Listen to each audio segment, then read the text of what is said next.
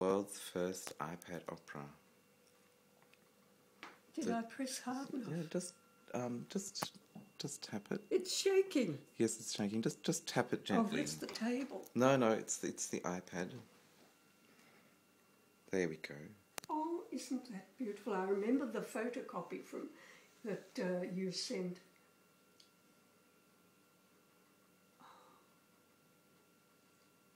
Please turn up the sound. Sit and relax. I love the visual. So I'll just turn up the sound. And drag your finger across. so you can touch the screen. Oh, isn't that good? I rather like that. I like that, David. Now you see, my he- my hearing aids distort that uh, high note. So just try, Hearing aids are try just, touching the screen. which anywhere. Anywhere, yeah.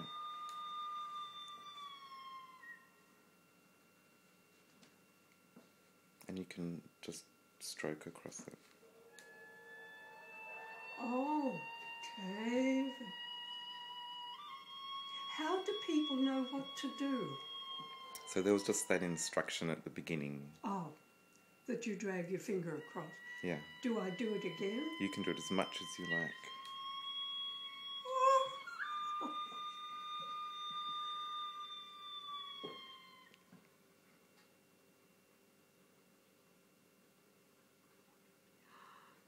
So many more again, again.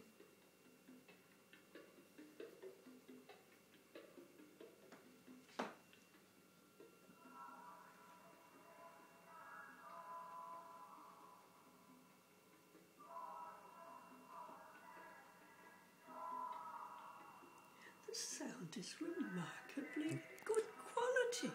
That's pretty Can good, you turn it up a wee? Um, no, Not very much on here. That's why it's it is better on headphones. I wouldn't think most people would want to turn it up. And the text coming out like that. And you can keep doing this. Mm, yeah, have a bit of a go. See. Whoa. So what what this allows you to do here is um, move it through the opera. Ah, So this is like one minute, two minutes, but then you can go to any section in it that you like. so it'll repeat unless you go on. And then while it's playing, you can.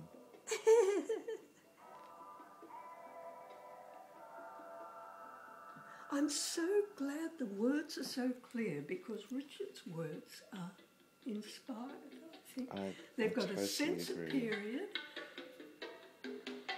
Oh, he's coming to his own. Oh, that's plenty loud enough.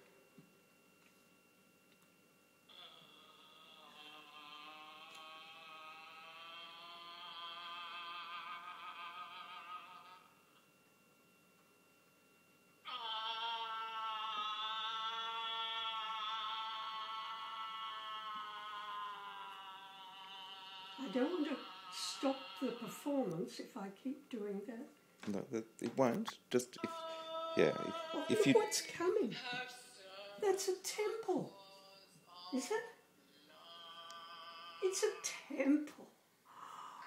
Aren't they wonderful?